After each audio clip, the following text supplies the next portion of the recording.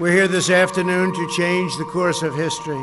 After decades of division and conflict, we mark the dawn of a new Middle East. Once again, let me congratulate the people of Israel, the people of the United Arab Emirates, and the people of the Kingdom of Bahrain.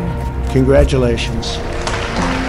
Hello, Scripture of the Day. I'm coming to you from across the street of the South Lawn of the White House. That's right, President Trump is in there right now, and we got to witness. We are having such an amazing time here in Washington, D.C. We got to witness an historic occasion where President Trump spoke right on the balcony there. We got pictures of it. That's our video of it right there and we got to see him broker peace between Israel and the United Arab Emirates and also Israel and Bahrain. Now this is absolutely amazing to me because I have I've barely ever been to Washington D.C. and on the day we're here making scripture of the day videos about the book of Isaiah on that same day there's two countries I've been to outside of North America. I've been to Israel, love going there. Can't wait to go back in the summer of 2021 and I've been to Dubai in the United Arab Emirates, where we support missionaries, where I would love to go again and, and help the teaching there. So to see that those two places in the Middle East, Israel and the United Arab Emirates, to see them uh, come together for peace right here today. I mean, this was an amazing thing, everybody. Not to mention, our dear brother at Compass HB, Mr. Scott Carr, served our country in Bahrain, which just declared peace with Israel. And so we're here studying Israel, we're here studying Jerusalem and what Isaiah is writing. And right behind me, right now, is the most famous house in America, the White House. And the question on everybody's mind in America these days whose house is it going to be? as we elect our next president, November 3rd, 2020. Will it be President Trump again or will it be Joe Biden? That is, I mean, so many people are talking about it, they're thinking about it. Whose house is going to be the White House? Now, today's chapter is Isaiah 6, and let me tell you why we wanted to. Uh, film this video about Isaiah 6, one of the most famous chapters in all of the Bible. And here, right behind me, take a look, turn around, scripture of the day.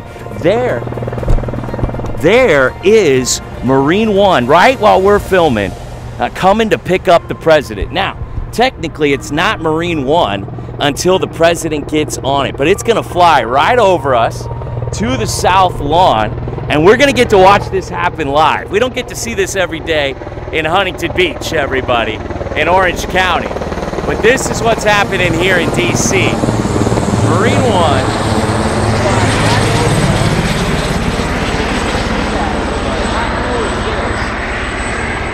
Marine One is going right in there to pick up the president who's going to a town hall on ABC in Philadelphia today. So uh, this is really cool that we get to be here while this is happening.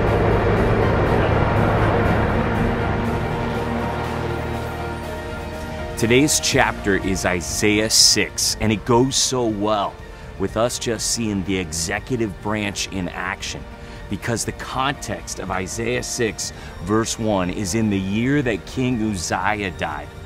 I saw the Lord sitting upon a throne. Now, that first part about King Uzziah dying, that might be the kind of thing we would just gloss over, read on our way to the rest of the chapter that maybe we understand better. But we know better now here on Scripture of the Day. And we know that King Uzziah, also known as Azariah in Kings, he reigned for 52 years. Okay, so that would be like someone getting elected president 13 times. That's how long Uzziah, a good king, was reigning in Israel. So you can imagine when he died, that must have felt like the end of an era. For a lot of people, that would have been their whole life. He was the king. And that's when Isaiah has his vision. And it's interesting that we don't read this vision in chapter one, we get it in chapter six. And Isaiah sees who's really in charge, who's really the executive in control of everything. He sees Yahweh sitting upon the throne in heaven. So it's interesting that for the first five chapters, it was all about how the nation, Judah, even the city of Jerusalem, they are not listening to the word of the Lord. They are despising the Holy One. And after we can see the sin of the people, and how they're not looking to God, we get this amazing vision of who God is from Isaiah's perspective. And so the idea is that we're to see God in contrast to the corruption all around us, even in contrast perhaps to our worldly leaders. In contrast to King Uzziah, we see the Lord sitting upon a throne high and lifted up. He's bigger than the entire temple. Just the train of his robe is filling the temple. And we see the amazing creatures, the seraphim, with their six wings all around the throne. But the emphasis is on holy, holy, holy is the Lord of hosts. The whole earth is full of his glory. Now, we want to take a moment, you and me, right here in the beautiful National Mall right by the White House. We want to take a moment and we want to talk about how we have a holy God. Can I get an amen from anybody? Because it's something in heaven that seems like a really big deal, but it doesn't get talked about enough down here on earth. So let's have our eyes be opened and see through the eyes of Isaiah here who God really is. That, hey, from Isaiah 6 to Revelation 4, when we get a glimpse into the throne room of heaven, they're talking about the holiness of God. And this idea that God is holy, it's, it's a theme throughout the book of Isaiah. He mentions the holiness of God way more than all the other books in the law and prophets and writings put together. In fact, the Holy One is mentioned 25 times in the book of Isaiah. So this is a clear way that God wants to reveal himself to you. He's doing it here through the prophet Isaiah. God wants you to know that he is holy. He wants you to know that means he is set apart and there is no one like him. You keep following the thread of the Holy One of Israel and he's going to make it very clear there is no one like me. God is unique, set apart, alone. And when we encounter his holiness, you can see from Isaiah's perspective in verse 5, when he beholds the holiness of God, he says, Woe is me. So this is should really impact us now because we've been looking at the woes that Isaiah said from God. He said, Woe to the leaders of the nation. He was giving all kinds of woes because of all the sin there in Judah and Jerusalem. I mean, we've been studying the coming destruction through the pronouncement of woe. So for Isaiah, the prophet of God, to pronounce woe upon himself.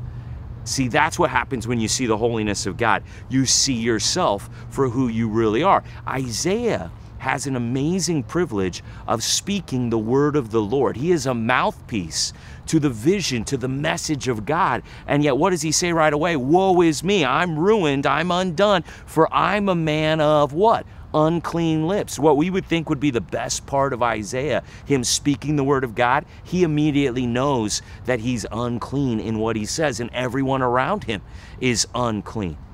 And so, if we really encounter the holiness of God, if we can really have our eyes opened to see Him holy, high and lifted up, we will, in contrast to God, see ourselves in our sin. And that's why the story is so beautiful here when one of the seraphim, which just must be an amazing creature in and of itself, when it flies to Isaiah and it brings a burning coal from the altar and it says, Behold, this has touched your lips. Your guilt is taken away, your sin atoned for. We know that the way our sin is atoned for is through the sacrifice and through our priest, Jesus Christ. He's the one who's going to bring us into the throne room of God. Worthy is the Lamb who was slain. But, but we got to see if we can read Isaiah 6 today and we don't come away blown away by the holiness of God, then, then we've missed the point.